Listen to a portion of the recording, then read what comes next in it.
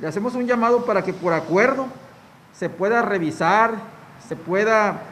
eh, suspender y en su caso también sancionar a todo aquel precandidato o candidato o partido que pues haga un acto masivo y descuidado que atente, repito, contra la salud pública.